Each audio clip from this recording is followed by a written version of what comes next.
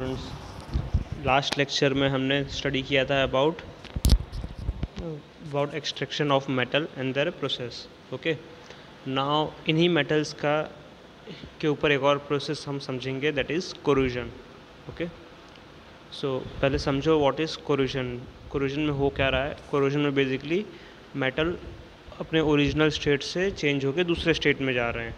State means जो original metal है, वो कोई ना कोई कंपाउंड बन के एग्जिस्ट कर रहे हैं ओके सो कोरूजन सिर्फ़ आयरन में होता है, ऐसा नहीं ओके मेटल्स कोई भी मेटल जनरली कोरूजन कर सकते हैं। हमने रिएक्टिविटी सीरीज़ देखी, ठीक है? फिर, अब ये मेटल्स एयर में प्रेजेंट डिफरेंट गैसेस के साथ में रिएक्ट करते हैं, ठीक है? जैसे कार्बन डाइऑक्साइड के साथ में भी रिएक्ट कर सकते हैं ऑक्सीजन या सल्फ़र या कोई दूसरी गैस और एक कंपाउंड बनेंगे. And this process is called as corrosion okay तो यहाँ पे तीन एग्जांपल लिया हुआ है.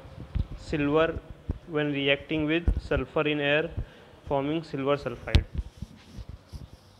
copper ठीक है, ये कार्बन डाइऑक्साइड के साथ में रिएक्ट कर रहा है और बेसिक कॉपर कार्बोनेट बन रहा है.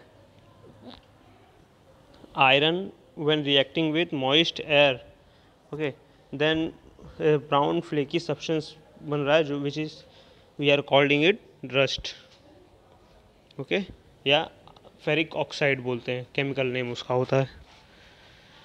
ठीक है एक्टिविटी 3.4 आप देख सकते हो।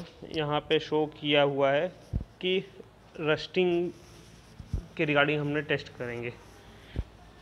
क्या है पूरा एक्टिविटी तीन टेस्ट ट्यूब लिए हैं A B and C okay एक में partially filled water and iron nails रखा हुआ है एंड कॉक टाइट किया।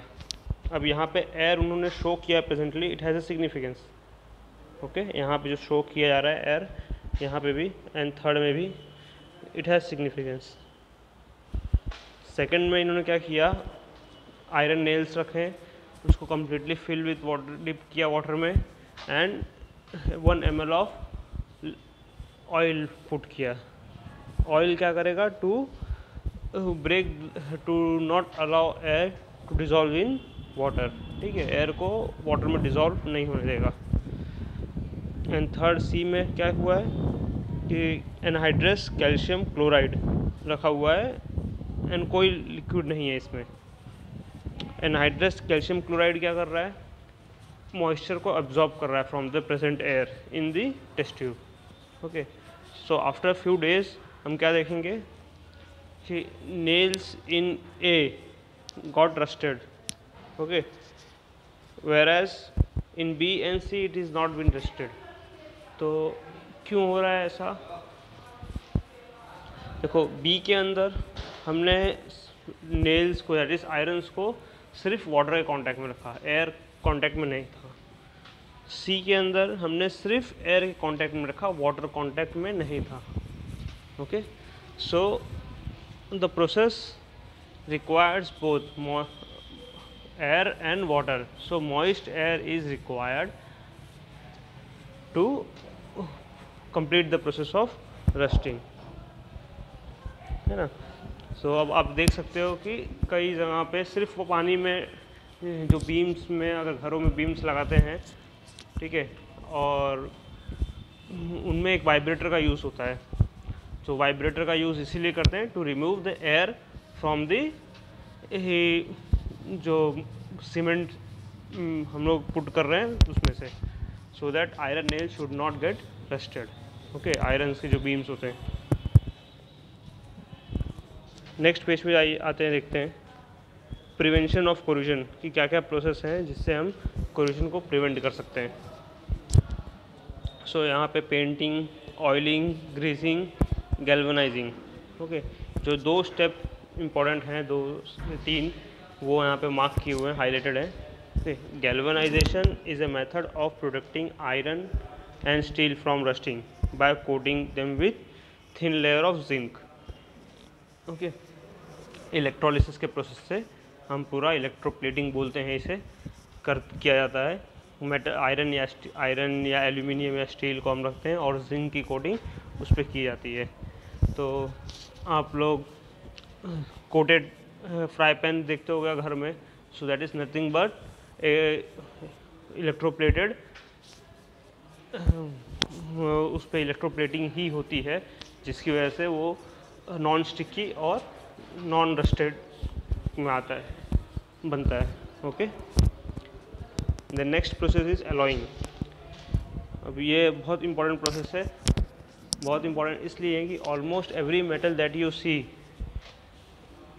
is an alloy pure form में हम कोई भी मेटल यूज़ नहीं कर पाते हैं okay so even iron in its pure form is soft okay soft मतलब इतना सॉफ्ट नहीं but it is soft it cannot be use for heavy things okay so अब आयरन में भी डिफरेंस होता है. Iron when used as a tool iron when used as a beam and iron जैसे जैसे एप्लीकेशन हमारे change होते जाते हैं वैसे वैसे हम इनके अलॉइंग करके प्रॉपर्टीज़ को चेंज कर रहे होते हैं. सो so, अलॉइंग करने से हमें desired property of a metal मिलती है.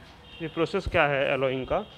हम मिक्स कर रहे होते हैं टू और more than two different metals in different proportion okay so ये कैसे करते हैं ये देखो? It is prepared by first melting the primary metal and then dissolving other metal in it in definite proportion it is then cooled at room temperature okay okay. So ये बीच में paragraph में डिफरेंट डिफरेंट अलॉयज दिए हुए हैं of carbon copper okay तो एक बार जस्ट गो थ्रू कीजिएगा। नाउ मर्क्यूरी के साथ में mercury is the only metal in liquid form so marquee mercury के साथ में जो बनता है that is called as amalgam okay फिर आप और ये लर्न रखना। याद रखना कि मर्क्यूरी के साथ में जो बनता है, उसे हम कहते हैं अमालकम। ओके? फिर आप नॉर्मली यूज़ करोगे शोल्डर, ठीक है? वायरस को कनेक्ट करने के लिए जो हम यूज़ करते हैं शोल्डर तो उसमें एक पतला वायर आपने देखा होगा।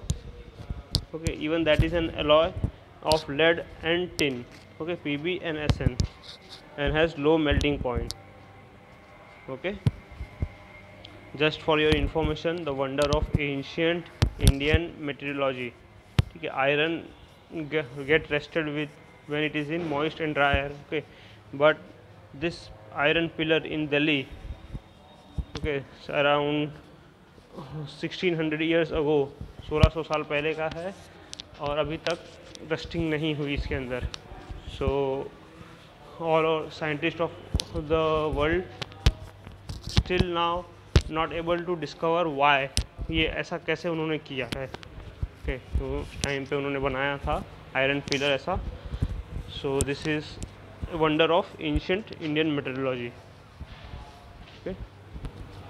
now one more information कि फॉर टर्म वन जो आप, हमारे सिलेबस है that is in science chemistry chapter one two and three with completion of this topic, we have almost we have completed syllabus for term one okay अब आपका काम है कि मैं लेक्चर्स में जो कमिंग लेक्चर्स होंगे, उनमें इंडिकेट करूँगा टॉपिक्स और आपको उन टॉपिक्स को अच्छे से प्रिपेयर करके लेके आना होगा अब फ्राइडेज़ को चेक कराने के लिए।